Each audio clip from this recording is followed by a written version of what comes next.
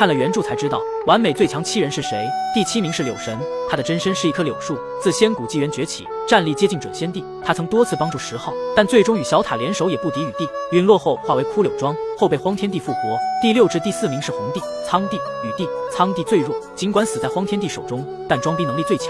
红帝稍强于苍帝，雨帝最强，他曾斩杀准仙帝，连柳神和小塔联手也只能短暂阻挡他。第三名是灭世老人。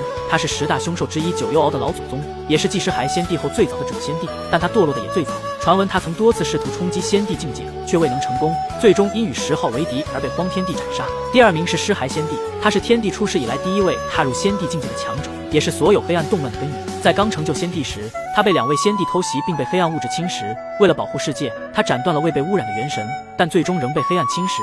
十号成就仙帝后，才将他彻底斩杀。第一名是荒天帝，他应劫而生，一生战斗不断，孤独前行。为了寻找黑暗物质的源头，斩断万古长河，独自前往上苍寻找源头。